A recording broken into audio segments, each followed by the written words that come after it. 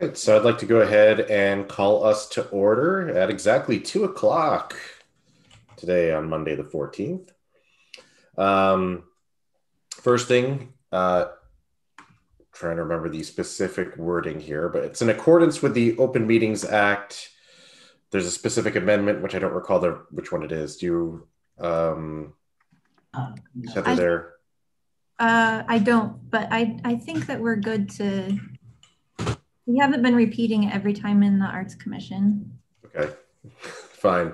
Uh, but in accordance with the Open Meetings Act and the fact that this is being done electronically, uh, I want everybody that's on the call here for the panelists to go ahead and make sure that you mention where you are, uh, as you have to be in the con, well, not in the continental U.S., but in the United States, uh, in order to fully participate.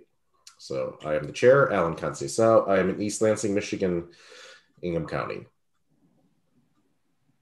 I'm Teresa Dunn. I'm zooming in from Bel Bel Air, Michigan. I'm Julian Van Dyke, and I'm zooming in from Lansing, Michigan. Teddy Hughes, Charlotte, Michigan. and Meg Croft, East Lansing, Michigan. All right. So we have quite a few items here on our agenda in the early portion. Uh, so we have a agenda for today. Uh, we're going to be reviewing very briefly the minutes from the last two meetings, communications from citizens. Uh, we have a no- number of people that are going to be on here. Um, whatever reports we have, we don't have very many of them, I, I doubt. Uh, and then we have several business items. Uh, we have item with a sculpture, downtown murals, uh, sculpture donation. So quite a few things to get through today. Um, does anyone want to move to approve the agenda for today or anything? First of all, anything that you want to add to the agenda? Okay. Nobody seems to be. I'll move Oh, to approve the agenda. Okay. I second. Second, All right. So let's go ahead and vote in favor of approving. aye. Aye. Aye. All right. So we got five ayes, no nays. So we'll go ahead and approve that. Next item is approval of the minutes from the April 5th meeting. I think we didn't have these attached to the last meeting that we had, and that's why we weren't able to approve them. If I remember correctly, it wasn't on that, wasn't attached to the agenda. Um, did everyone get a chance to look through the packet earlier and review the notes? Any items that you want to have added to it? Any changes to be made?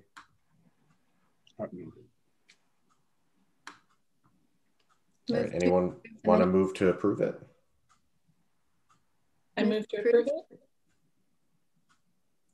Can I get a second? I second it. All right. Uh, all in favor of approving the minutes from April 5th? Aye. Aye. Aye. Aye. Oh, Meg, did you Aye. see? Oh, okay, good. Just making sure. right, 5 0, and that is a unanimous one. Next item on the agenda is the approval of the minutes from May 17th. And again, anything that anybody wanted to have added or changed to these minutes from the last meeting that we had? Move to approve. I second. All right. All in favor of approving the minutes from May 17th? Aye. Aye. Aye. All right. 5 0 and unanimous for that approval as well. Uh, reports from the chairperson. Um, I don't really have anything to report at the moment. Obviously, we meet as an, on an as needed basis. Uh, I know we'll be discussing uh, the email from Mr. Hunt here shortly. Um, and aside from that, I'm excited that we have a bunch of stuff to look at and review today and to discuss. I know some of the many of the artists are on here as attendees. Uh, see, looks like there was a hand raised by Peter Dewan. Um, We can, um, when we get to the communicate, when he's actually a part of the first item on our agenda, so okay, we can, we can chat with him when it's time. we get to that. Okay, Mhm. just double checking. All right. So I don't really have anything major to report here. Um, going elsewhere on the agenda. Uh, let's see, who's the next person that reports? So that would be council liaison, which is going to be uh, Jesse, who is not here yet, correct?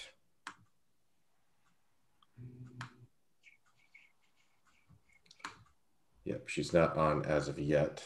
So I'll have to skip past her. Um, anything from any of the other panelists? Anything you want to mention or bring up?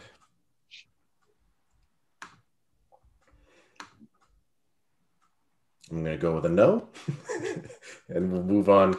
Uh, do we have anything from you, Heather? Uh, just a couple things real quick. Uh, the Dustin Hunt email, we don't have to discuss, but because it was written communication, I, I to put it on the agenda, so that's up to you at time. Um, and then secondly, I think that we'll need to have a July meeting to discuss round two revisions with Okoye, um, but we'll confirm that his contract has not been approved by council yet. So um, I'll know more once it's approved by council and I'll obviously keep you updated and send a doodle poll when I know more. Okay, thank you very much. I see Jesse has joined us. Hey guys. Just just in time for your report to us as our council liaison. Oh gosh. Um, what do you want to know? I don't know. We don't. It's not like we have like a set report. It's not like I'm I'm doing financial reporting for us here. Uh, Yeah. what do you What do you want to talk to us about? If the Uh, city will centralize composting. Composting is a is an ongoing um, issue. We don't have any place to put compost yet, so um, I mean, I would just continue to push. If if you're really um, dedicated to the idea that environmental commission is probably the best place to put your um, your desires because they're the ones that are really pushing that policy. So um, I wouldn't say that it's not going to happen, but it's probably not going to happen quickly. I'm into it too because my neighborhood association is judgmental about compost bins because we have a lot of skunks, and so I feel like I can't do it in my yard. So I'd like to have some place to put it, but um, yeah. So ongoing discussion. Um, I think everybody probably knows about the Albert project, the closed down um, block on Albert.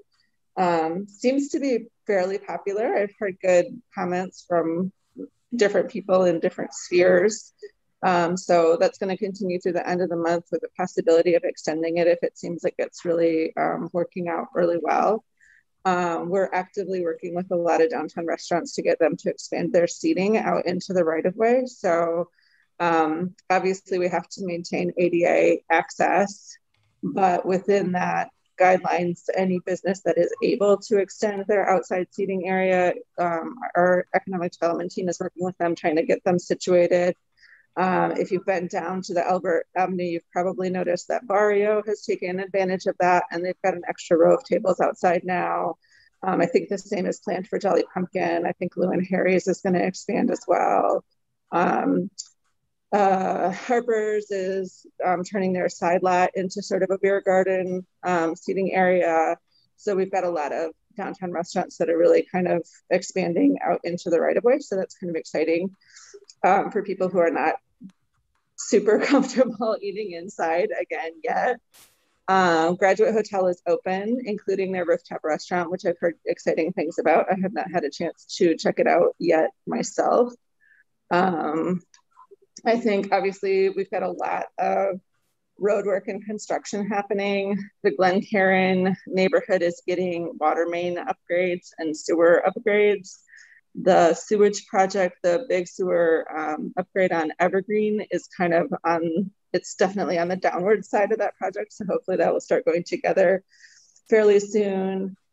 Um, I'm not sure the timeline on the Abbott project or the Glencairn project. Um, the West Glencairn project extended through the whole summer, but I don't think that this one will take as long because there was like other factors involved with what made that take so long. It wasn't just the work. So hopefully it will not be all summer.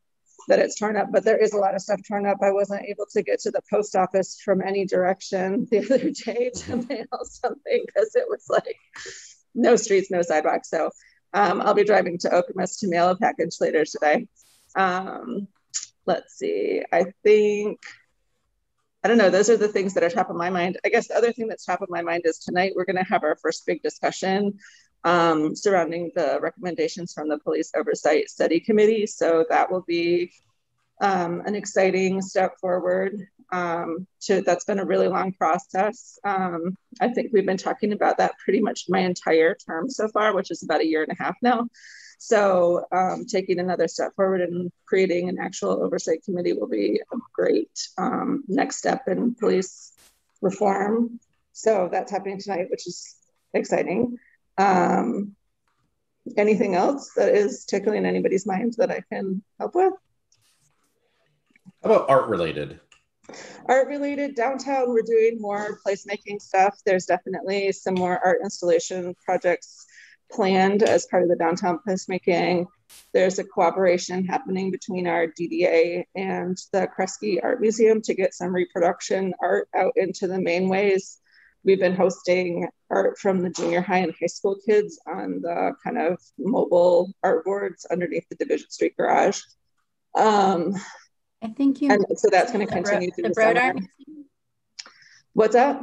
The Broad Art Museum, not the Kresge? No, I think Kresge. It's from the Kresge collection, so it'll be Oh, um, okay. yep, yep, le- a little bit less modern. Um, I mean, there is definitely modern art in the Kresge collection, but it's a much more um, chronologically comprehensive collection, I would say, than the Broad.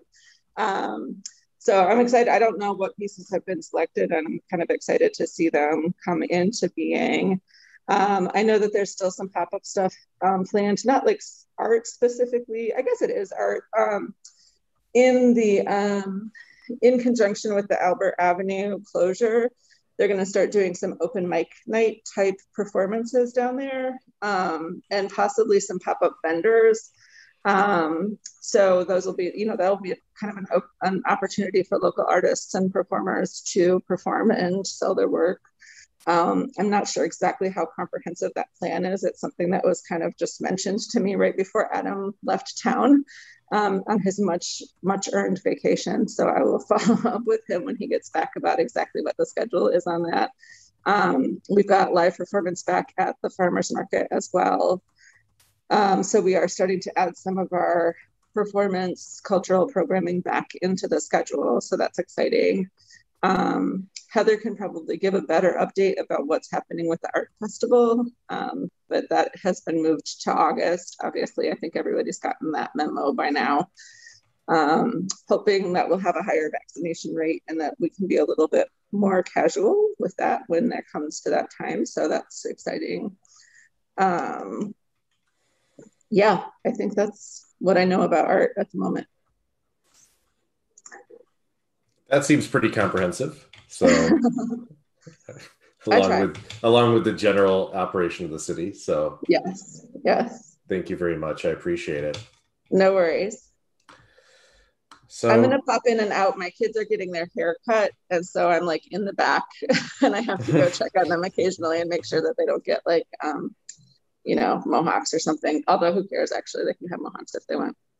I was gonna say a you of all people should not Right, be one that's going to be preventing your children from getting a mohawk. You should be preventing them from getting some sort of extremely boring haircut. right. Be encouraging them to get like a high fade or something. well, Ash is rocking a pretty awesome mullet right now, so I approve. Happy stuff. birthday season. All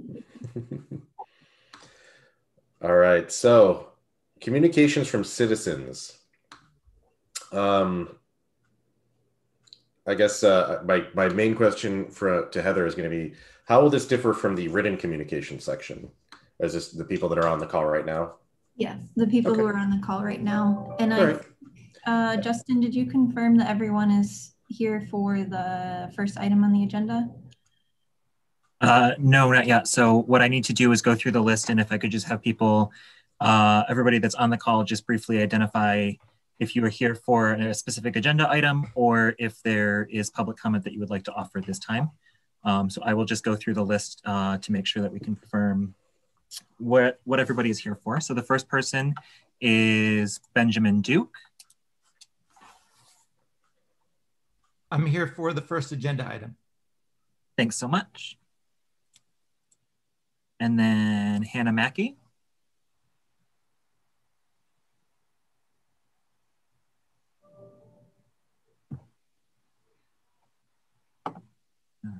It should be noted that the first agenda item is the groovy opportunity, the the mural over at the parking garage, just in case anyone was confused.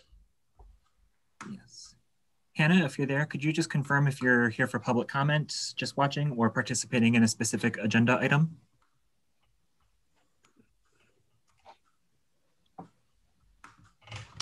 Okay, we'll come back. Uh, Joan, Hey there, I am also here for the Groovy Mural first agenda item. thank you.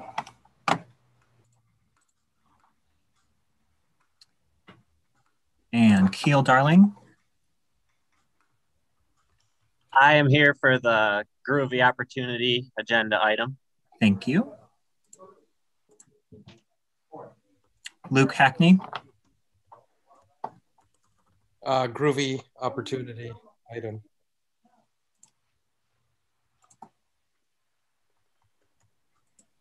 and then we've got May. I'm also here for the groovy opportunity. Okay. And Peter Dewan.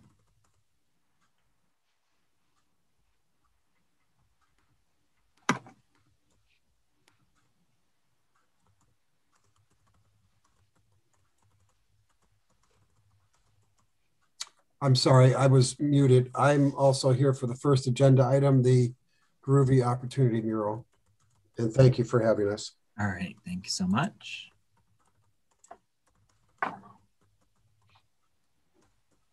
All right.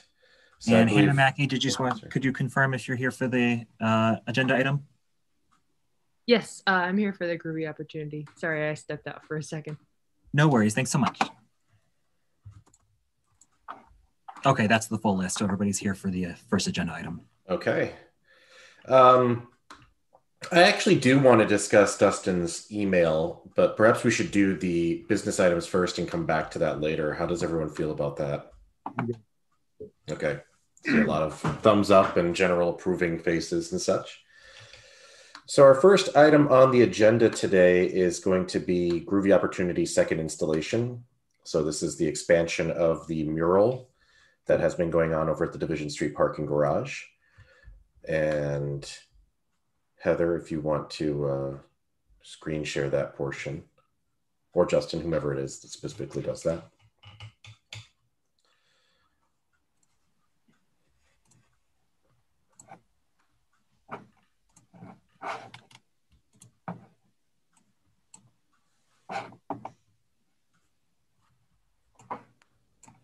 So we're being asked to review and approve the attached art. Uh, it is May I as make a request? I'm Sure. sorry. If, if the screen, if it can be um, zoomed in just a little bit, I have issues with the small text. If you need any larger, just let me know too. Or Heather, let Heather know. I don't really have any control over it, but Heather, I can bark out demands. Or something else? Yep, that, I believe this is the image that they're proposing Mhm. today. Uh, the rest is artist introductions and a little bit about the process. So I think leaving it right here is gonna be great for now. Thank you, Justin. So this is a continuation of the project that began last year. Um, actually, I believe it was was two years ago. Actually, at the start, it was 2019. Yes. So uh, obviously, this is a sort of collaboration between MSU's art school and the city of East Lansing, uh, and this has been something that I know uh, Dr. Duke has been involved in uh, and been pushing along. I could speak more, but I know that we have all these people on specifically to discuss this mural. So I feel like it would be best to turn over to the students and Dr. Duke about the mural and uh, probably go from there because I know they all wanted to introduce themselves and and discuss the piece. So Justin, I can't uh, promote anybody with the screen share though. You, thank you. All right, I am going to um, promote two panelists, Ben Duke. And then um, I believe Hannah, Joan, Keel, and May are artists that are on. Is that right, Ben? Yeah. Okay, I'll promote all of them as well. And then once you've done your presentation, I'll promote the DDA so that they can um, share what they have to say as well.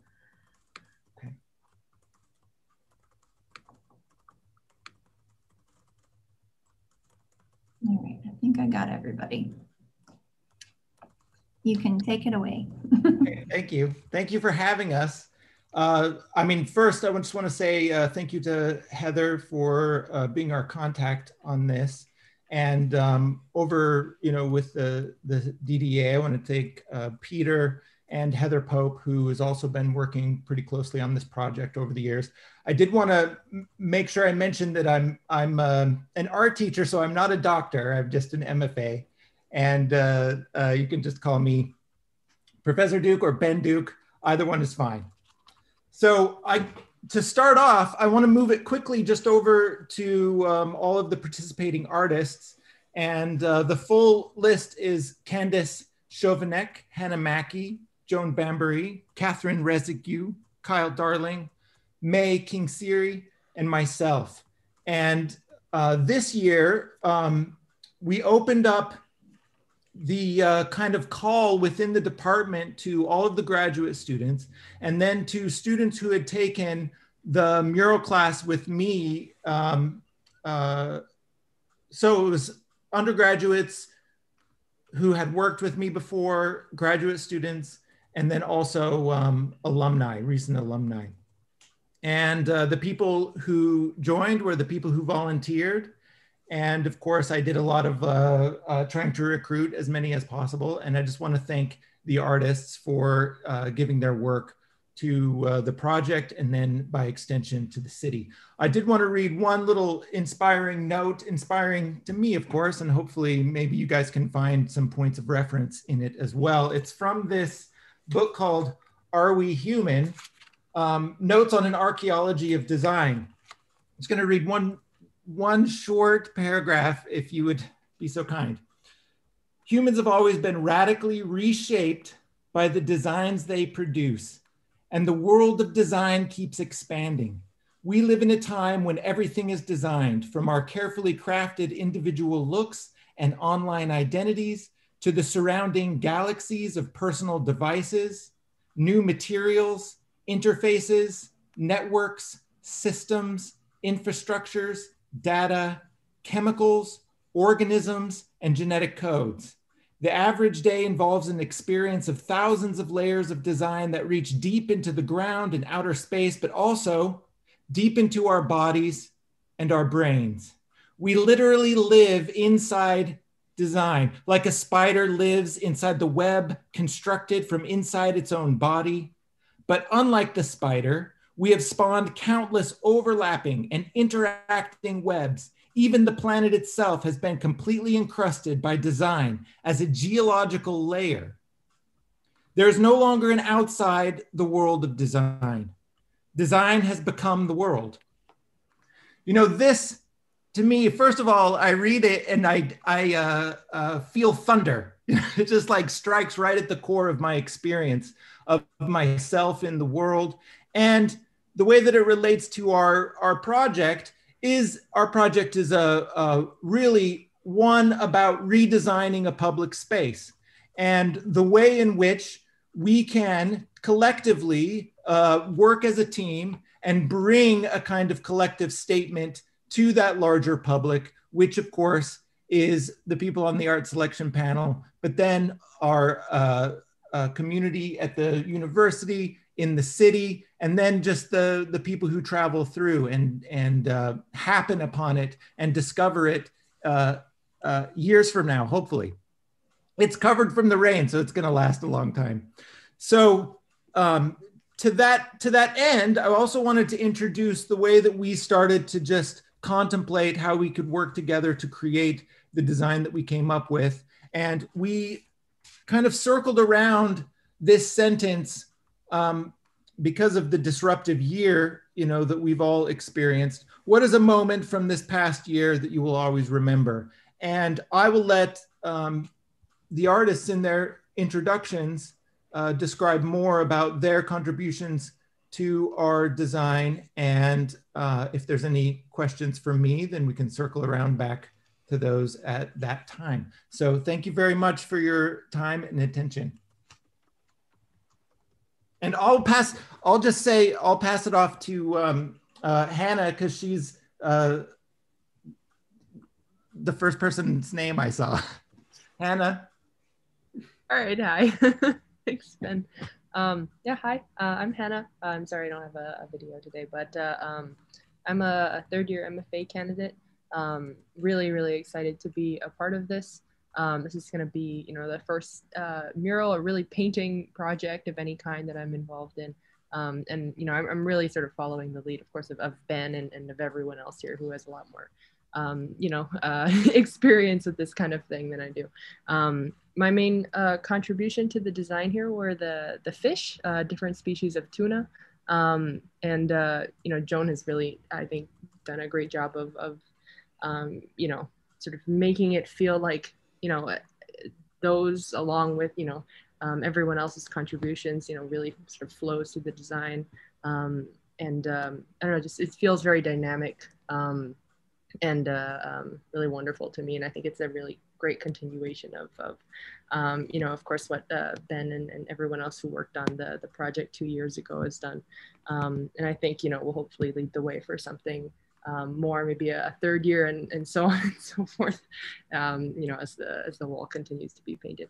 Um, yeah, I, I, think that's uh, all I have to say. Um, yeah, thank you.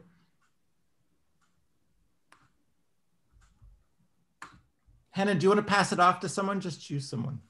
Yeah, yeah. Um, I'll pass it on to Joan. Hey, so my contribution was the little itty bitty weird guys in the bottom that kind of look like animation frames, as well as the larger box creature towards the middle and the bits of the fish towards the lower right. But I also put together the composition as a whole using everyone's images and combining it, as well as a lot of the color palette I had a handle on. And most of that came from this obsession with the colors of East Lansing, from the people to what we choose to wear to our businesses. We are so colorful and it's just so beautiful. And I really wanted to bring that level of dynamic difference and brightness and just honestly hope through color and shape into the mural while combining everyone's work in the most respectful way possible so that everyone feels like they have a voice on the wall and all the different people walking by for years to come, no matter what state they're in, can be able to look at the wall and see something that they personally really identify with. And I, if that's cool, I can pass it off to May. Hi, uh, my contribution to the piece um, for the composition are the poem in the bottom and the patterns that are scattered all over. Um, I'm originally from Thailand. Um, this is my fifth year, or yeah, fifth year here at, at MSU.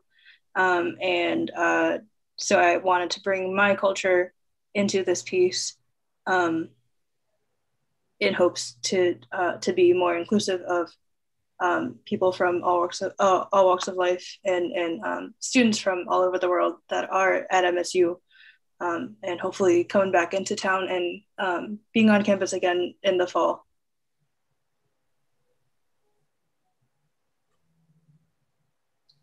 Uh, can I pass it on to Kyle?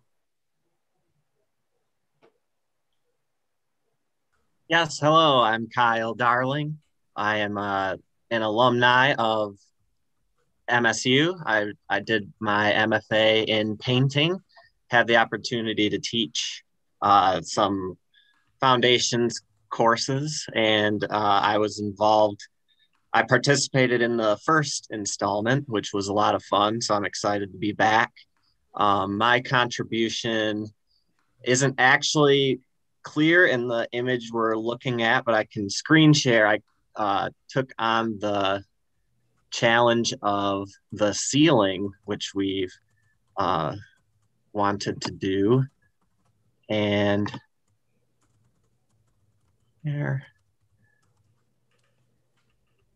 a little zoomed in. So I decided to, I had some uh, line work and cloud imagery, and I just visited the Dale Chihuly Garden. So I was really inspired by those forms. Um, and yeah, again, I was going for a, a, kind of boiling over continuation of the composition, emphasizing the playful, um, kind of graphic, cartoony qualities of the mural that I uh, thought would be uh, fun to tackle on the ceiling. So, um,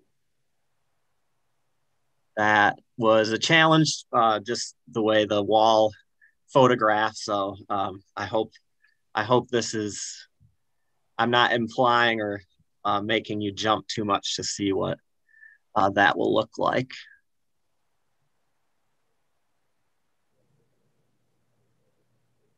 So yeah, that's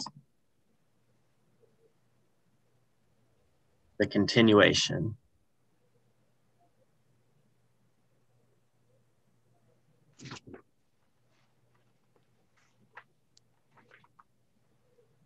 Um, I don't know who else to pass to. Um,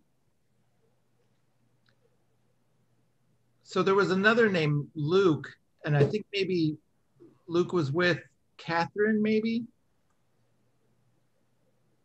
So I, that was someone I didn't recognize. So I guess uh, that's us, and uh, who were able to make it today. And um, if there's any questions, we would be happy to respond. So let me um, let me promote Luke and Peter. They're both with the DDA and see, we'll let them um, join us for question time before the art selection panel kind of uh, goes away to deliberate, I don't know, to offer their comments.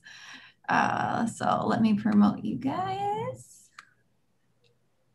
Obviously, they're not going anywhere. We're right here the whole day. All right. Um, I think, did I? There you are, Peter. Okay. Luke and Peter, you're both here. If you um, wanted to say anything about the DDA's role in this or um, just have any questions for the artist, artists mm -hmm. as well. Thank you. Um, Thanks for letting me participate today. I'd like to um, maybe just provide a little bit of context uh, about how this program came together. And uh, it's been one of the great um, initiatives I think we've undertaken in the downtown over the span of the last several years. And I'd like to give a shout out to um, Julian Van Dyke, uh, for your great contributions in the Artist Alley. Oh, thank you very much. Um, I know you have the uh, So You Think You Can Color book, uh, which I have not read, but I hope I can color. Uh, you got it. I'll give you one. Okay. A, a number of years ago, we had a conversation at the DDA level on how to continue to activate and create placemaking opportunities in our downtown. And we had this beautiful mural that had been created by Julian, which uh, I think any East Lansing resident is quite proud to bring visitors into our downtown and walk by and see all these creative spaces we have in artists' alleys. And I, uh, a number of years ago, had interaction with a number of emerging artists through the university. And so we had conversations about how do we activate uh, downtown spaces and how do we bridge the gap between town and the university? And I made the suggestion that we have a whole art department across the street of a number of emerging artists that we could perhaps develop some type of cooperative, collaborative working relationship. And Professor Duke uh, and Heather Pope and myself had a number of conversations about how it could be tied to a certain curriculum with the university. And so this program has evolved over a period of time. The DDA made a commitment to fund uh, over a span of five to six years each year the, con- the continuation of this mural. And uh, quite truthfully, it has turned out much greater and better than I originally envisioned. And I'm, I'm very excited about it. Um, this adds to all the additional things that the DDA is presently working with the university on from, as uh, council member Gregg indicated, we will have renderings of artwork that is presently in the Kresge Art Collection displayed on public parking garages throughout the downtown. We are working collaboratively with the MSU Theater Department about having the possibility of pop-up community performances. I'd love to see the, the uh, uh, summer theater performances that have been enjoyed for years over on campus re- relocate it, perhaps a performance or two in the downtown. We will have live musicians. And so all of these things that we're doing really further defines our community as the city of the arts. Uh, we are going to be having feasibility studies that will begin, and we've actually had our first meeting with ArtSpace, who is a developer of housing for artists with the possibility of having studio art space where the community can enjoy, um, uh, you know, different types of art, either whether it's performance art or artistic art, um, and yet we can provide find a new way to provide a different housing stock in our community. So all of these initiatives are somewhat parallel one another, and I'm thrilled that the Groovy Art Mural was part of the original conception of how we really transform our community into a dynamic and vibrant place. So um, that's my two cents. I'm thrilled to observe and listen and be part of the conversation today. And I think you're all doing great work. I want to compliment um, all of the artists that have participated in this process. Um, I never really wanted us to be in a position where we were critiquing their creative expression but nonetheless, I'm thrilled with what they've produced. What I really am most enjoying about all of this is 20 years from now or 30 years from now, all these individual artists can come back and observe what their creation was in this mural and have a sense of ownership and a sense of belonging to our community. And I think that's really how you identify and develop placemaking. So uh, my hat's off to everyone. Thanks for letting me be part of the conversation today. Thank you, Peter. Thank you for the compliments too.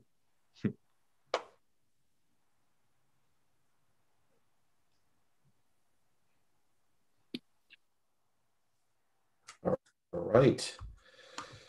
So at this point, then, um, anything else from any of the other panelists that we want to mention, or any discussion or items that they want to bring up?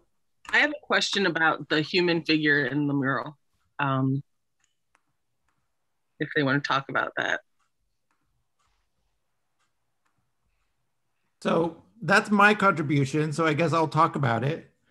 And uh, I'm not sure. I mean, uh, I'm not sure what what's your question. I don't know. I want to uh, make sure I'm answering the question that's being asked. I'm not sure what the question is. I guess the inspiration or the when I look at it, what am I going to what do we want observers to know or see? What are we expressing there? What is that human figure about? I guess. Okay. So uh, in in in my work, I think a lot about uh, the figure as there's kind of a principle of complementarity that exists inside my own work, and I try and express it in in uh, different kinds of ways. But the notion is that there's like multiple things happening and multiple truths happening all at one time. So in in this sense, this figure for me, I mean, it's there's an incidental aspect of it where it's coming from you know my own process and journey as a maker. So uh, uh, the person who's represented is a model that i've worked with for many years but now she moved away. And uh, i was uh, over the pandemic times i've been working through like old photographs and old drawings um, since i wasn't having people over to the studio. So i mean that's an incidental kind of thing.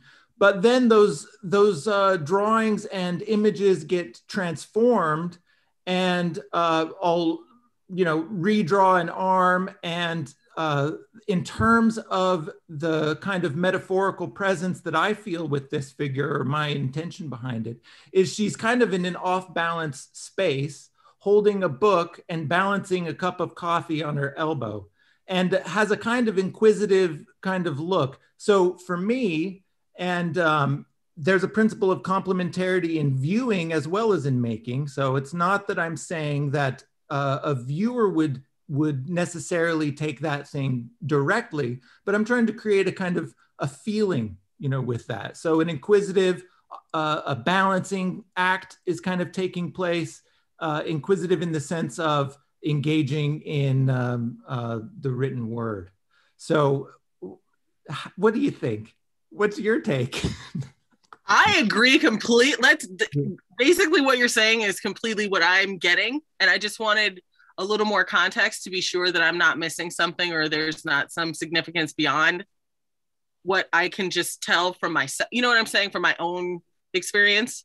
There, it sounds like this is a model you've worked with, so there isn't any significance that I'm missing. The the the literature and the inquisitiveness that's there for sure and i love the coffee cup of course. I wanted to um, I, first a comment and then ex- extend a uh, couple questions. And the first thing i want to say is i'm so pleased to see the uh, student and alum um, participants people i know and will make wonderful contributions. And i really appreciate what each of you um, said about your contributions and uh, its uh, place in this project. And I'm so excited to see this be realized.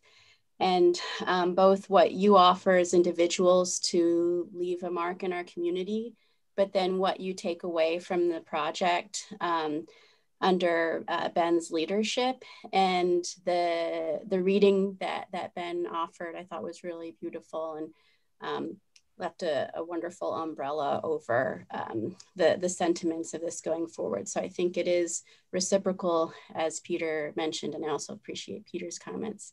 I'm wondering if there are any um, details, and, and this, I guess there's a, a, question that's kind of going down the route Tedda was asking.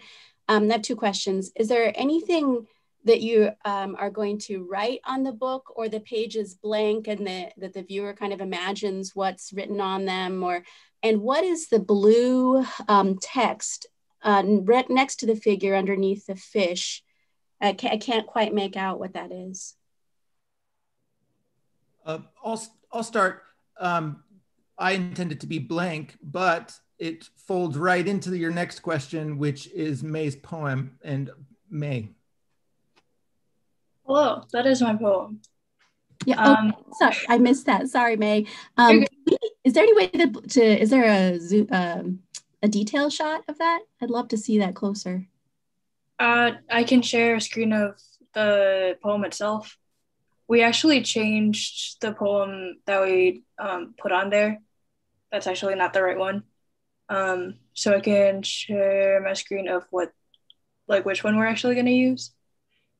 Um, this is the original one, so it's not gonna look exactly like this. When we put it on, it's gonna be the same color scheme that um, Joan put into the composition, but it'll be this um, poem instead. So it says, uh, lazy river flowing westward, uh, slow and steady like my mind on a misty morning, rising with the rain, falling with the sun, separating past from present, adored by visitors yet harmed by residents, fed by anger and young reckless stupidity, flowing slow and steady like my mind on a misty morning.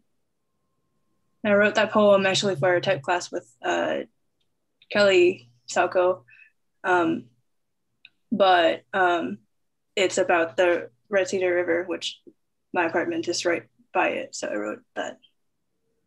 That's beautiful, May. Thank you for sharing. And, and I, I like the way that the, the text kind of spills down. And I'm, I'm assuming you're going to also paint like the there's the gray and the red, and that will become a very visual part of the mural. Beautiful. Yes, it'll it'll be the same color scheme as what uh, what Joan already put into the composition. Thank you. Uh, if I may, I uh, just add, I believe uh, Luke Hackney is also on this call. Uh, Luke is with the DDA, and I don't know if Luke wanted to offer some comments. Um. Yeah. Hi, Peter. No, I I agreed with everything you said. Um, and definitely don't feel like you and I are necessarily in a position to to want to critique or or offer suggestions on changing the art. I feel like the artists are are doing their job and we should let them do their job. So I agree with you on that point too. Um, but thanks for having me. It's, it's great to check in on this. It's great to, you know, spend money and, and see something like this happen. It's encouraging. Um, I guess while I am here, I would, I would just uh, use this opportunity to say that we should uh, keep trying to support local artists. That we should keep trying to to, to keep these things local. I know that uh, I just feel like a lot of uh, art in the community is not necessarily local and a lot of times when it is that that the artists are are definitely undervalued and underfunded compared to to art that is come coming from uh, outside sources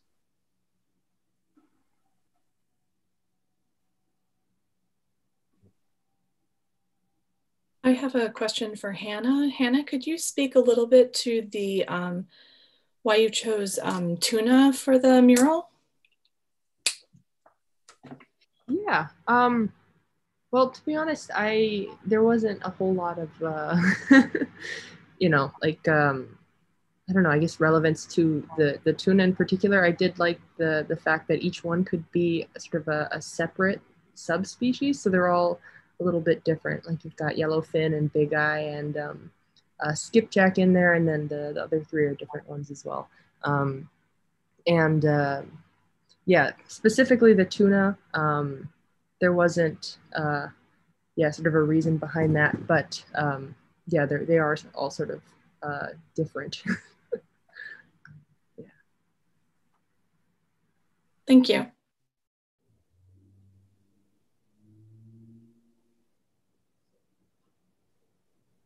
All right, anything else from any of the other members of the committee?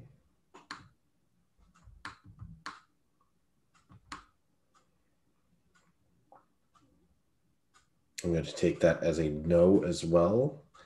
So going along with this, uh, I believe that we are to sort of convene and discuss approval of the project. Is that correct, Heather?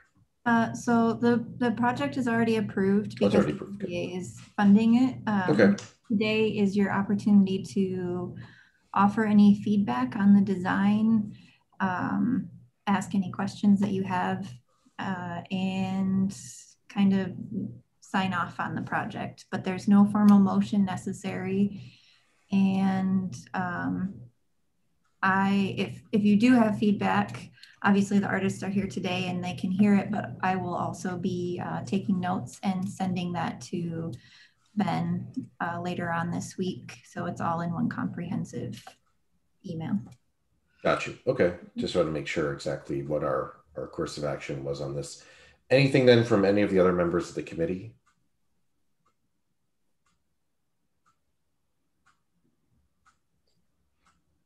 Does not appear to be. Um, so effectively, I guess we're we're signing off on it, even though there's not a formal vote. Um, and I want to thank everybody for for coming up today uh, virtually and discussing the piece with us. Uh, very much appreciate that and giving us that opportunity to review it. Um, I'll be very excited to see the end result, I believe.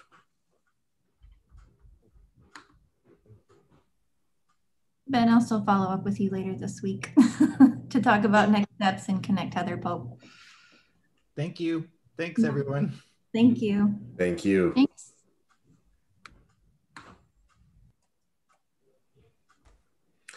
All right, so the next item on the agenda is the downtown mural, which we have had our last couple meetings uh, centered around. So we can go ahead and put that up on the screen for sharing. And also, do we have, were there, I guess I should have asked uh, about this for the agenda earlier. Did we have um, the previous version of this just to see if there were any differences that had been, any changes that were made from the original version to the one that was attached to this? Uh, so no changes have been made yet. Okay, got you. I, I was just wondering if that already taken place based on the commissioners. No, so the, the contract needs to be approved by council before NWBC can go or is comfortable, honestly, moving forward with any changes. Mhm. So I organized the ones from the Arts Commission here, as well as the one that I heard you say in the last meeting. Um, and you, so this is your, and, and once the contract is, uh, is approved, then I will share all of these comprehensively again with NWBC and, and we'll move forward with re- revision round one. Mhm. Um, Can we increase the size of the text, please?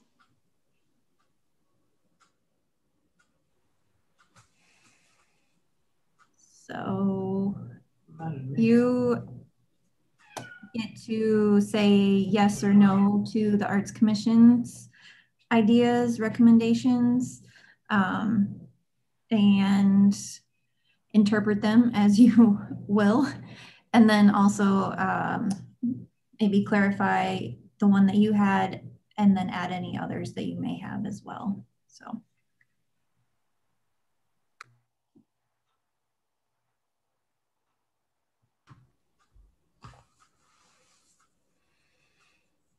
I do like uh, number three. I think I mentioned that during the original, or not the original, but the the last vote that we had related to this. Um, I don't know if I feel as strongly about number two as some other people do. Um, simply, I feel like it almost makes it uh, less interpretive for viewers. Almost makes it I would say too obvious, but um, Well, and to that point, I wonder if that could be solved not in the image, but through the interaction, like with QR co- codes. If that deeper history is revealed through that interaction. yeah, that's that's a good point, and I think that that could be done um, quite easily. I, I I feel like that's a, a good middle ground, just because I I don't want to get into a point where this just becomes, you know, paint by numbers of three different activities kind of thing, or you know, whatever they de- deem as as being most relevant to put on the wall. Um, I like to have a little bit more creative process for the creators than that. Um, and I, I like the piece as is also. So I don't necessarily have any great desire to make, you know, whole scale changes to it to make it more sort of East Lansing centric. Um, In East Lansing. yeah, I mean, it's in East Lansing for starters. Number two, it's really about Dr. Green. Right, right. So- how do we make this more about ourselves? Yeah. Um, it's it's it's an interesting responsibility we have, right? Because like even in the last mural, even though they're not seeking our approval, Hmm. I do remember the last time we went over the initial project. Uh, Teresa and I said, "Is there a way that you can include, if you're going to include figures, try to be inclusive, like someone in a wheelchair, someone, you know, someone outside the box?" And the one that they presented, that's just the model he has. We're not gonna, you know, you can't pretend something. You can't like, but in the same way, you don't want to force feed any part of the mural to anybody. So I think if we're like, and here's the East Lansing bit, and here's it, you know, just the references and QR codes, URLs is plenty. Having it I agree. over the top is just East Lansing and stuff. We went over this, so I thought that when we discussed um, the last meeting we had, I thought it was pretty important that we um, expanded his image more, Mm. and, and and it was. We were all satisfied with that. So I mean, I think Dr. Green, as he's Lansing, I don't think you. Um, I'm, I'm with Teta. Yeah, I agree. I have a slight hesitancy about where the QR code is going to be since this particular mural is so high up. Um, you know, is it, you know, it's what, like 40 feet off the ground or something like that? Um, so my concern is, are we having a QR code like down in the alley? Or are you going to have a nine foot by nine foot QR, QR code that's next to the mural that you can scan from the street? Um, and so I would like the mural to be able to stand on its own as much as possible um, for that reason, uh, just because a QR code could easily be lost or someone could tag over it super easily. Um, and then it's rendered useless. So, um, anyway, I don't know if anyone else has thoughts about this, especially um, given the where this mural is located. That's my major concern about um, QR codes and things. Um, is that it's uh, it's not an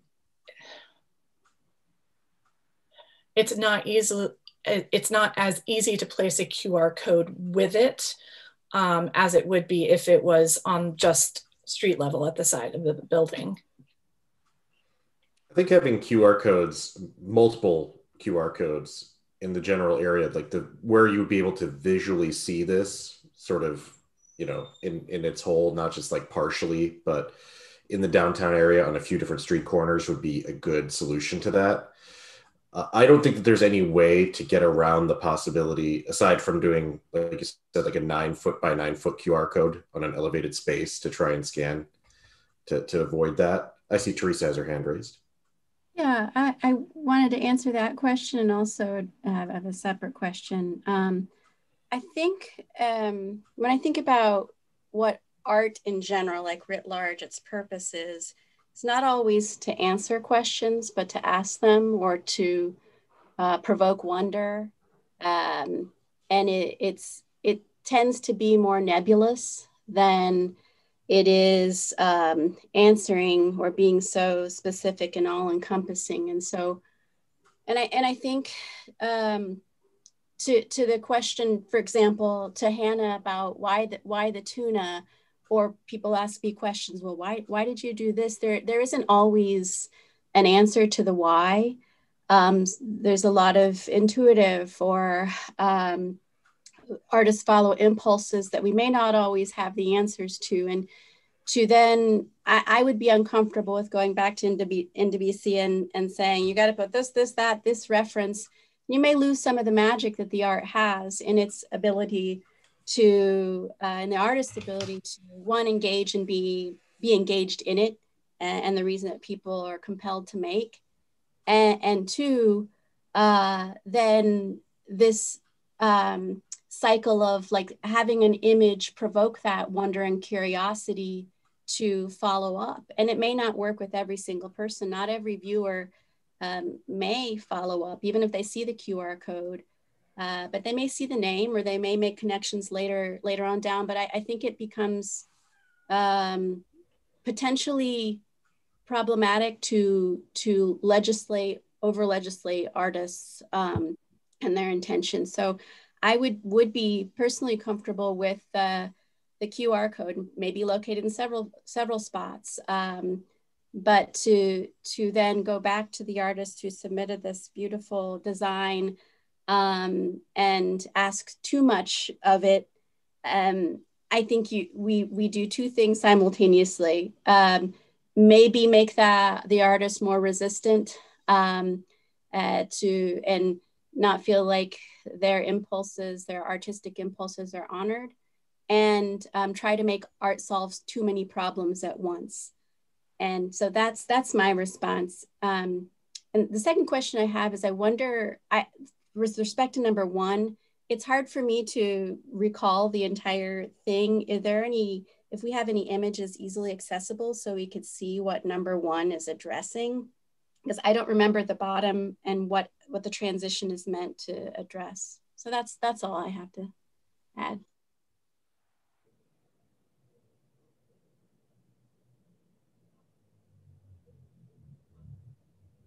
Think, we, yeah, I was gonna say this. We could scroll down a little ways to show the the bottom portion there. So what is it the transition is meant to address that? I don't, is there a picture too with the real space that, because I'm having some problems kind of conjuring what the transition refers to.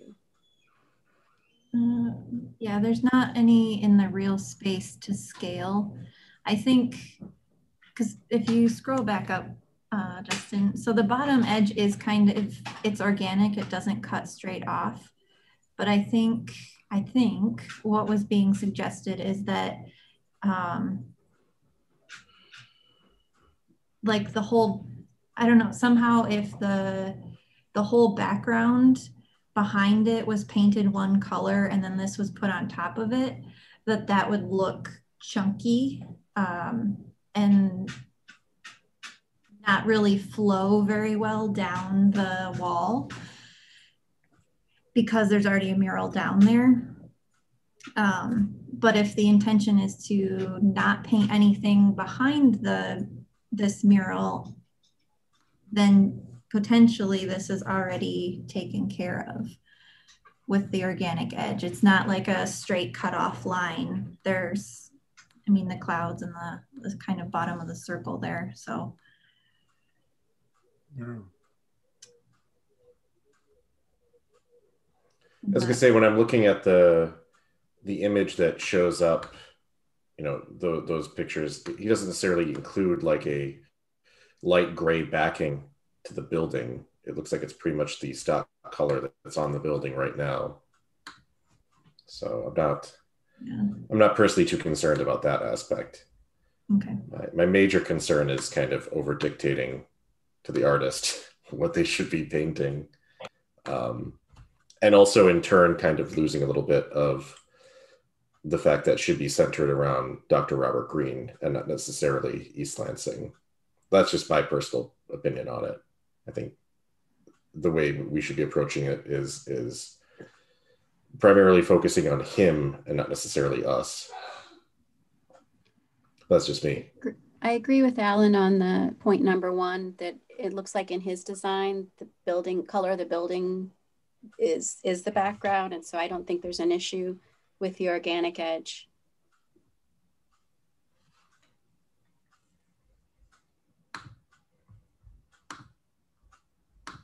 So do you have any other things besides making um, Dr. King and Coretta King uh, more defined that you wanted to update?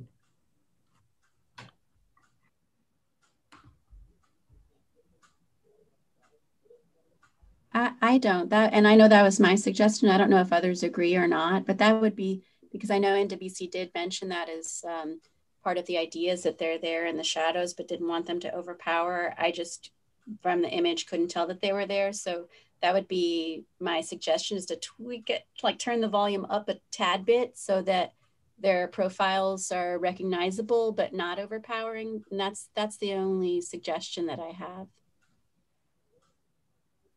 Yeah, and I agree with you, Teresa, about that. I would I'd like to I would like the that red red forms to be a little more concrete um, instead of sort of possible weird red angel wings, I guess. But um, but actually having a little bit more um, a little bit more concrete form to them would be, I think, helpful. But um, yeah. Fine. I'm also fine with that idea. I think that's a good good idea because it, it it isn't very clear what they are um, at all. And I think, yeah, making it more concrete would be helpful, at least for the layman interpretation for sure. But yeah, I don't think we have any, anything else that we really want to add on to this, unless somebody wants to raise their hand right now and prove me wrong. But I feel like we were we were pretty happy with the art piece in general. So you were asking if we could add, but we can't subtract, right? We can't say, like we said our piece that we don't think that we need to bring more East Lansing elements, but does that have any bearing on the art commission's list? Or did we just talk about that for no reason? I don't mean no reason, but you know what I mean. Like, right. for our like, own Heather, we can't we can't reject what the art commission says, right? Right. Okay. Yeah. So that's no, just you, our you, comment on it. Because I thought you said we might be able to. You guys have final say on the design. Oh. So the arts commission, they saw the things that they would have changed, but it's not it's not really their call. It's your oh, call. Oh, okay. Then I, I would like to can I move to scratch number two? Yeah, I mean, and we don't need a, a formal motion or anything either. Oh. Um, let me let me uh, read back to you what I wrote so that I maybe this will help help a little bit. okay, so for number one, it looks organic enough as long as the background isn't painted with like a straight edge. Uh, for number two, could this be solved through a QR code instead of changing the image? And I think that the answer to that is yes. Um, and then the location of the potential QR code is is concerning, but that's something that I I'll help NDBC figure out. We'll figure out together. So um, I don't think that you need to be worried that the Arts Commission is going to hate you or something. Okay. if you say no, thank you to that. And then number three, you said you liked number three. So I think you're good. I've, I've got um, can I ask to be excused? I have an electrician downstairs. Our fuse box went out in my house. So I'm, I'm, looking at the lights on borrowed time. So um, if it's possible for me to, to go talk with him and excuse from the meeting. Otherwise, my house is going to go dark. um, if, if, you could tell us, maybe you could quickly tell us which color you like most for the um, the sculpture that's in storage. I don't know if you saw that yet or not. Um, I haven't. Okay. Well, then in that case, we'll I guess we'll pick it without you. we'll let you know which one we like. I, I trust Cheddar and everyone else and yourself and Meg. Um, it, this just it just happened this morning, so I called the electrician. So I don't want to bother you with my problem, but that's hey, I'm I'm just glad you got a contractor out today. Good for yeah, you, man. Like that's the real battle right now. Yeah. So I'm sorry. No, that's and okay. I will see you next meeting. Thank you very much. Thank you. Okay. Good luck. okay. So I think do we all agree that we don't like number two and are happy to scratch that one? I see nods. Anybody? Yeah. Okay. Good, good. Just making sure. Okay. So that's that's what we want, Heather. All right, that sounds good. I will um, type these up with my minutes and wait for council to approve our contract. All right. Uh, next item here, we have L5 and Beyond. This was East Lansing's first piece of public art. It was placed in the parking lot off of Albert Avenue. When Center City was built, it was disassembled. Uh, it's apparently in not great shape. It needs to be refurbished, um, which will take place here quite wonderfully. Uh, it has been proposed to be powder coated uh, and given a new color. It was originally a bright orange. It is now a pale blue and we were given a sampling of the colors that are available to paint it with. And since I put the agenda together, uh, Jim Cunningham, who is the artist who will be refurbishing it, told me that you can, that rod isn't the only colors they have. They can do any color of the rainbow, any shade, anything. So sky's the limit. you could, and they can even do more than one color too. I mean, I might be biased um, for anyone who knows me. Um, but I would I would probably like to see it return to its original color. Um, that is bright orange. Um, full disclosure, orange is my favorite color. So, um, but um, if the artist's intention was for it to be bright orange, I would like to see it return to bright orange. Do we have a easily shareable photo of the work? Yeah, can you uh, share that from the agenda? I know we have that and a, a metal rod that has the different colors on it as the very first image uh, of the three that are listed there, I think. I agree with Meg on the color um, because of the intention, um, but I will fully disclose that orange is my least favorite. So this is definitely, I do not win here, but it is about the artist expression and the original intent is so important. If we ran out of that, then I even like the color it currently is, but it should be the original expression should be kept intact as much as humanly possible, is how I see it too. So, and it's only because I like really dark things. it, it, being orange will make it look really obvious. It not will. that not that that wouldn't look obvious Yeah. to begin with, but still, um, I I also like the artist's intent. I think if if you think about like a piece, just go with like furniture. People want to have like the original like appearance of the furniture. You know, people like the original everything. Not saying that renovating things or or painting them is bad necessarily, but a lot of times what comes back to is you know people like the original state. I want to see it in the original state because obviously i've i don't think i've had the opportunity in my lifetime living here in east lansing since 2008 to do so. And i agree if that was the artist's intent was originally orange um i'm i'm pro going orange personally. I, I second that. I orange isn't my favorite color either, but I think for the reasons of it being primarily the artist's um, intent or original color, and I do think that contrast with sky and surroundings would definitely draw more attention to it. Now, this doesn't, where, we don't have a place for that yet. Is that what part of today is for as well? So the Parks and Recreation Commission approved, I want to say two years ago, definitely pre-COVID, but pre even talking about refurbishing. They approved it going in the White Hills Park.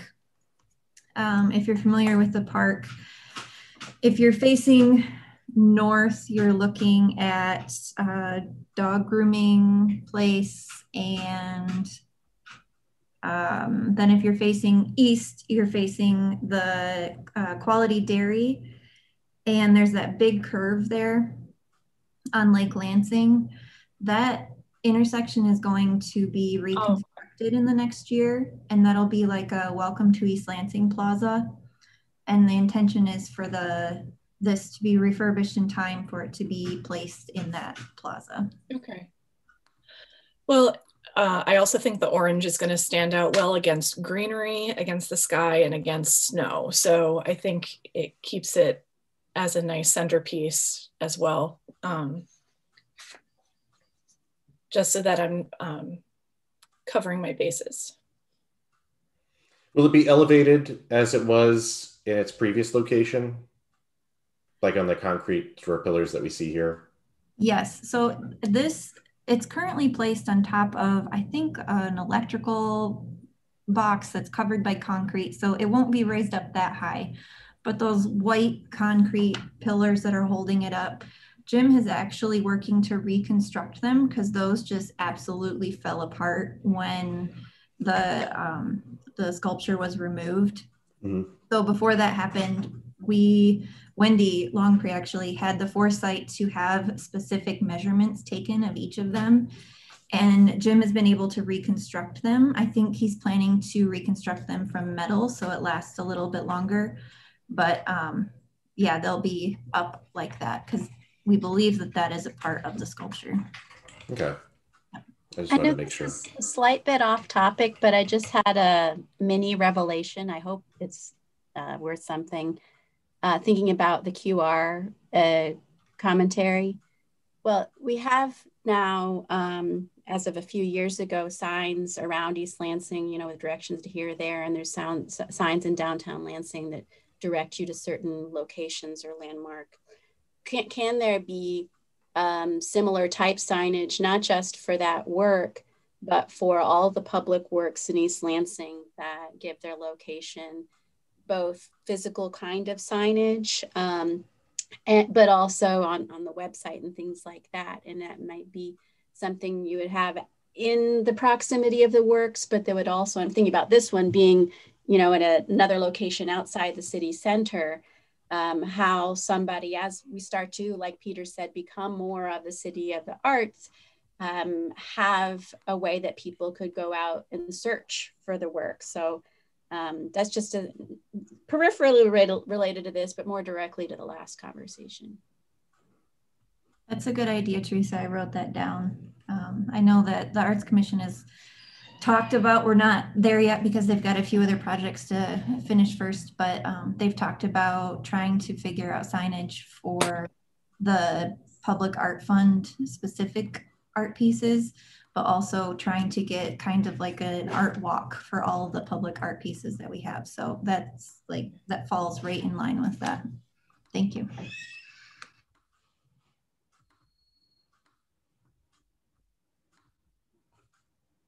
Do you need a motion about the color? I don't think I need a specific motion. I think I might have done a suggested one, but it's definitely not necessary. Okay there's a consensus. So yeah, we all agree on the orange. Yep. All right. So the last item on the business portion of the agenda here is I don't want to say it's related necessarily. Um, this is the same gentleman, correct? Or did I imagine that? Okay. Thank you. So uh, Mr. Cunningham also has a sculpture that he has produced, uh, and he would like to donate to the city. Staff has identified Patriarch Park as a potential location for installation.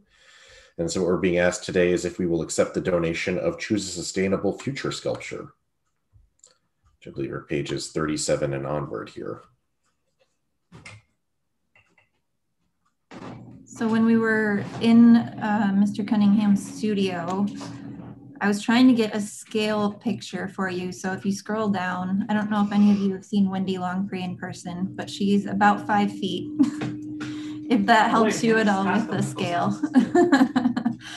um, and then actually, other than the, the part where the wheels are attached, the whole thing is the foundation. Um, and then if you scroll down a little bit further, this is his sample one that he made. This one is only about three feet tall.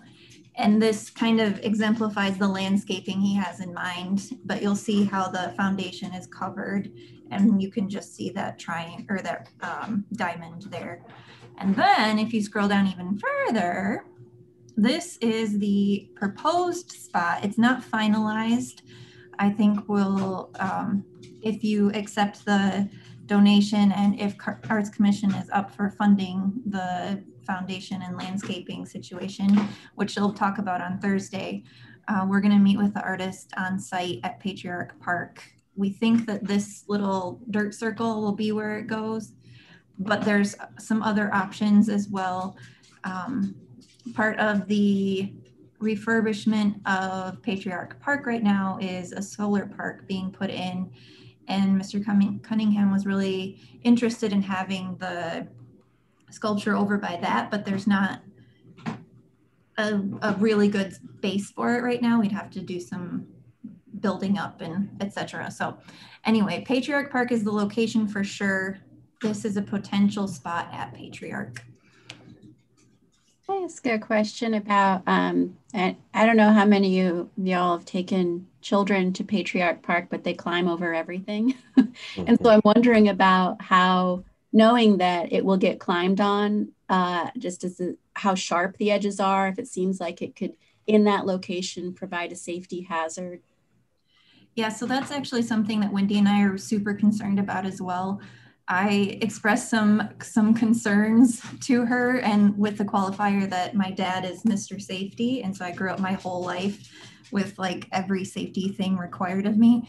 And then Wendy was like, "Yeah, I have concerns as well." So if it is in this particular location, we're looking at a raised bed which would potentially I mean, it's not going to completely exclude children from climbing on it, but it would potentially make it a little bit more um, cumbersome for them to get to it.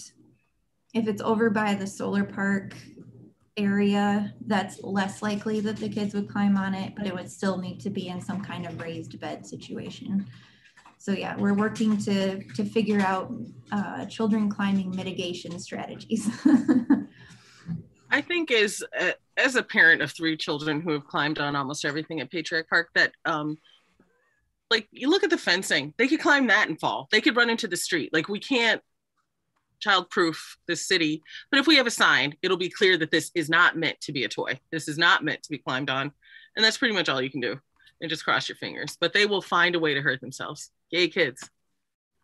Uh, and as far as the art is concerned, I love the concept.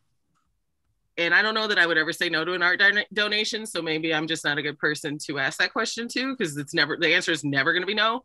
But the concept is great. And I think the audience that is going to be around it at Patriarch Park is the perfect audience for it. So I grew up, there was a John Kearney in Chicago on my block, um, one of the gorillas of his um, steel bumpers. And it, it changes everything for a kid to be exposed to art um, organically like that. So if it's at the park, that's just the best. So I'm a vote yes. I don't know if anyone else wants to discuss it further. The only thing I would say, as far as like a child safety thing, I wasn't even necessarily thinking of it being sharp. I was looking at all the reflective bits because in a very bright sunny day, it's going to be hot. But that means they won't touch it for very long. so there is there is a positive to that. But I also generally agree with you, like on a personal perspective. I know that probably general counsel for the city of East Lansing may have a different perspective on this.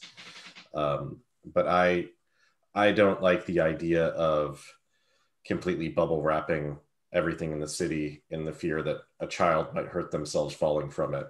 Um, obviously, there, there are limitations to that. I am definitely for getting rid of arsenic ridden lumber that makes up uh, old playscapes. But something like this, I, I, don't know. There, there's a lot of statues. There's a lot of things that you can hurt yourself on around here, and this statue is not the first nor the last option. Um, and honestly, I'm more worried about uh, the, the the items that are coming out of it. I assume that those are probably steel that has been painted. Um, I'm more worried about them getting bent under the weight of a child, depending on how thick that steel is than I am necessarily about children being hurt badly from a fall of roughly two feet. Um, so that's pretty much my, and I, I definitely have no inclination in saying no to free art, especially a large sculpture. Um, I definitely didn't mean to imply it should be bubble wrapped. Um, no, no, I know that, but uh, it is it yeah. is a liability if you've got it somebody is. who sliced their hands open on a, a sharp piece that's something to, to think about um, and obviously you can't um, protect every everyone from everything but for, for me the idea of having it elevated um, it seems to um, mitigate that um, and uh, i would be content with that solution yeah maybe um, we have some degree of budget is that correct heather Yes. Yep. Um, maybe we could look and see how much the cost would be for a concrete pedestal. And trying to think here.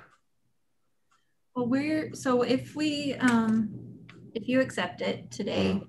What I'm asking the Arts Commission to fund on Thursday is a foundation that uh, has proper footings. We'll hire an engineer to get it all um, weighted properly, and etc. Um, and then for also the landscaping to be a part of it. So whatever safety precautions we can take, we will take. But um, yeah. And there, there are two potential locations, right? It doesn't necessarily have to be Patriarch Park. There's also the solar park that we had discussed, which is Right. Well, obviously the- not the as visible, but At Patriarch. okay. Yes. Because the Burcham Park, uh, Burcham Hill Solar Park actually already has one of Jim Cunningham's sculptures there. Okay. Um, so we wouldn't, and that's not city property to put something on. But um, yeah, that specific spot at Patriarch Park isn't finalized yet. It's just a potential option. Okay. Yeah. If that it- can be, the attractive nuisance issue is true everywhere, right? But I think like what you guys stated as solution satisfies the attractive nuisance problem. So like signage and elevation, that's great. So, right? And plants. You put plants around something, it's a little, it's beautiful and it's also a buffer. And then this Mm. thing is like rising out of the foliage. It has more movement that way. Sounds good to me. Put some roses in. That'll keep the kids out. Thorny roses.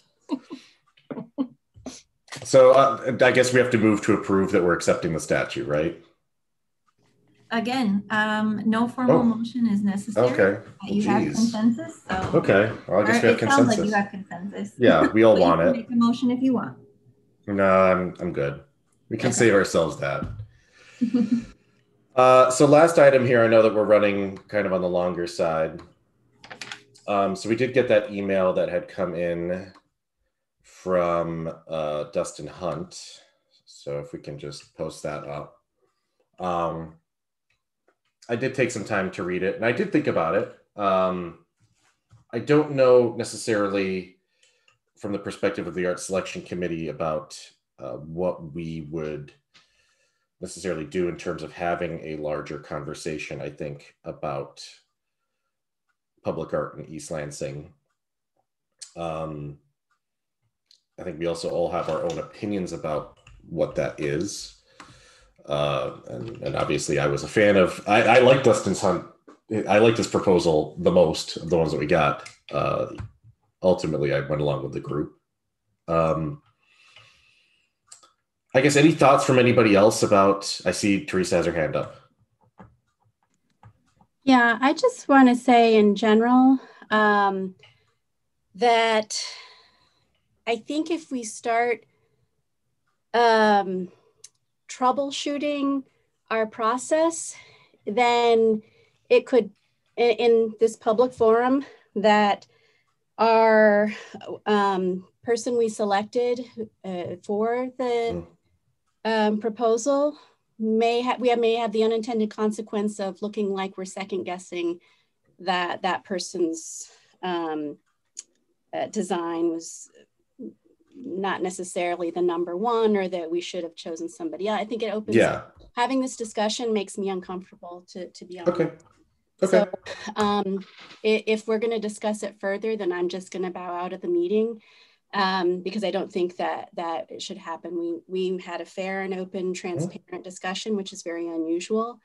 And I think we made um, the best decision possible, recommending that the other artist designs were, uh, if we could find a location to do so, and um, artists uh, get rejected more often than not, myself included. Um, and we we selected what we thought was the best design for for our community. So, um, and, and I, I I will say, just as a human being, I understand um, how it feels to have uh, worthy work um, not accepted, but um, to begin to second guess that process, I think is problematic, particularly for the winning proposal.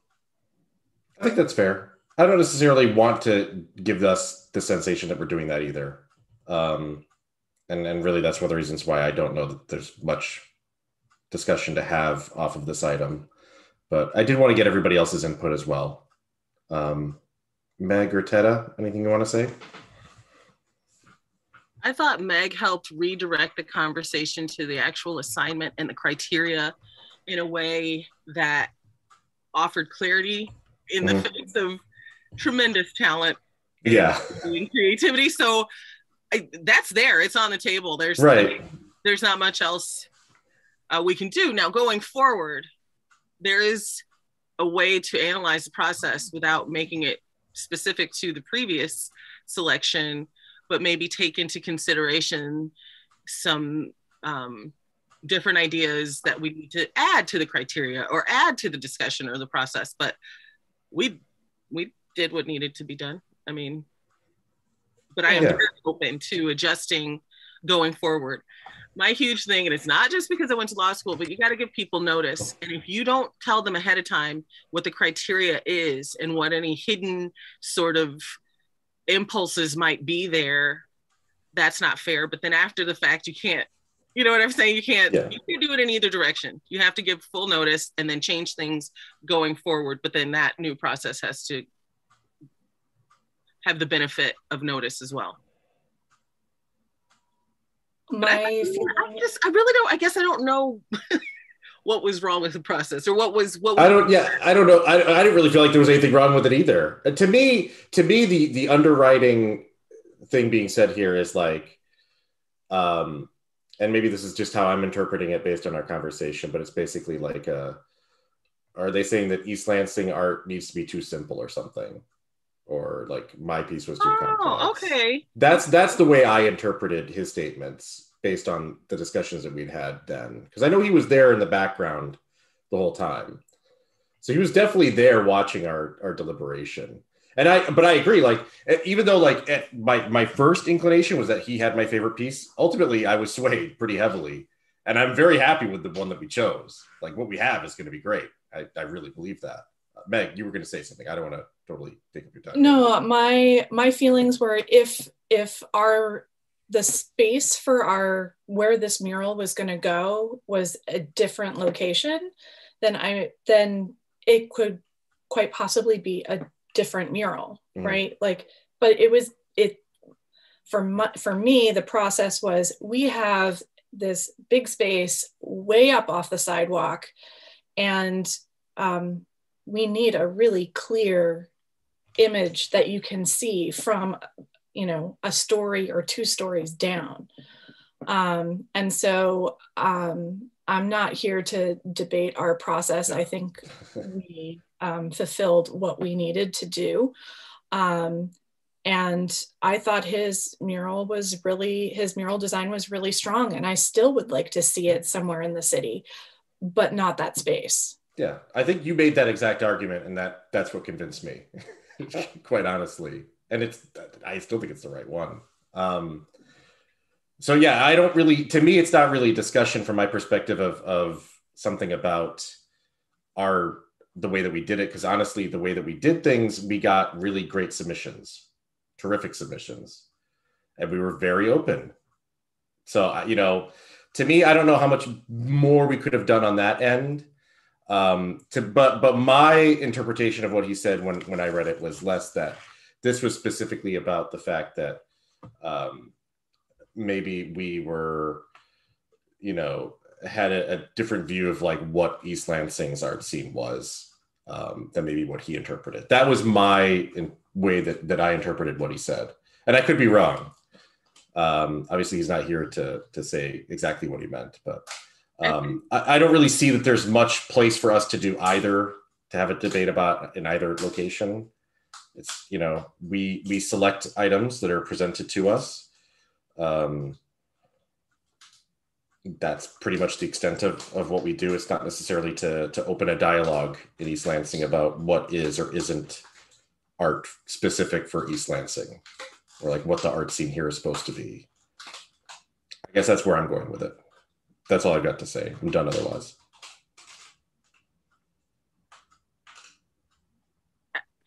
I guess I think it's important to.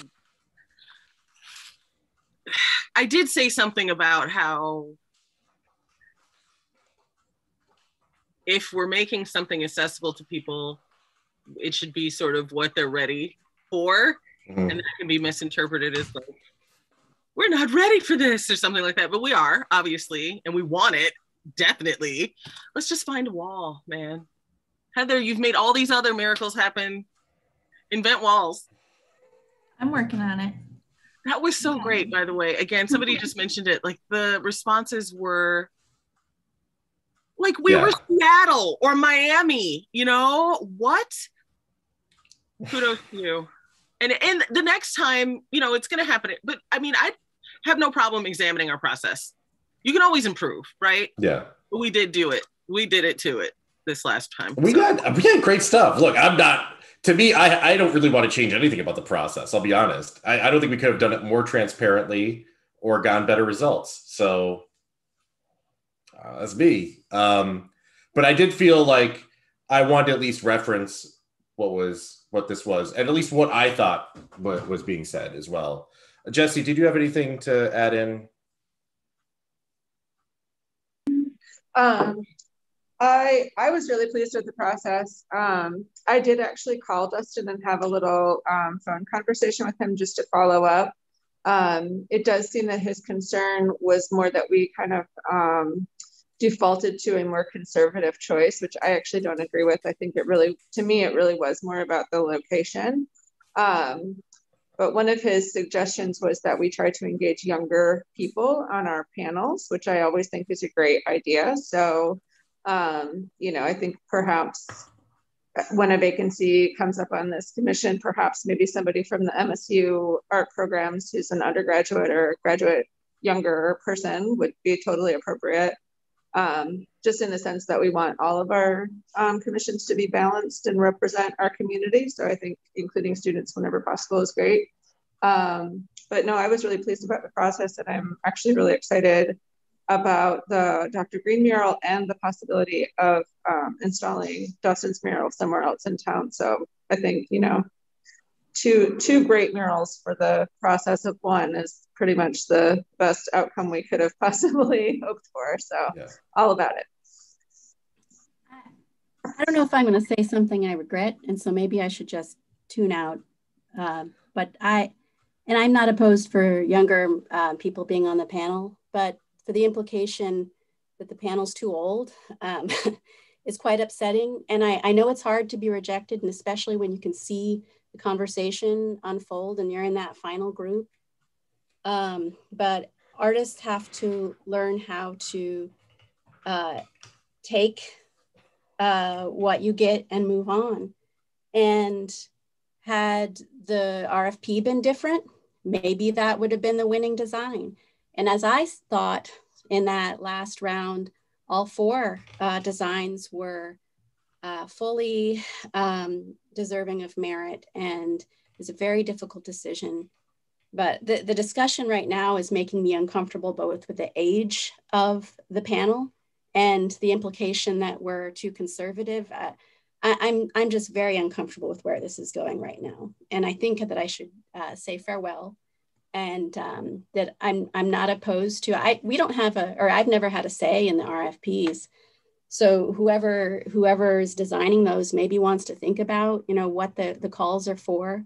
But in the end, you can only pick one, if you can only pick one design, then, and you have 200 people applying, there's going to be 199 people with um, that feel just a little bit sore, and I understand that because I have been on that end more times than not. So um, I think I am going to go, and uh, I don't know if there's any other agenda items, but that that's all I want to say. Oh, Thank that's you. it. That that we're pretty much closed at this point. So, uh, so I'm gonna go ahead. Any, I think we're good. Everybody else, okay. So I'm gonna go ahead and move to close the meeting. Da-da. Motion to close the meeting. All right. Well, all you did. favor- Oh, second. Second. There you go. It's all right. All in favor of closing the meeting? Aye. Aye. Okay, great. Thank you very much. I appreciate everyone showing up, and we'll talk again in about a month's time. Okay.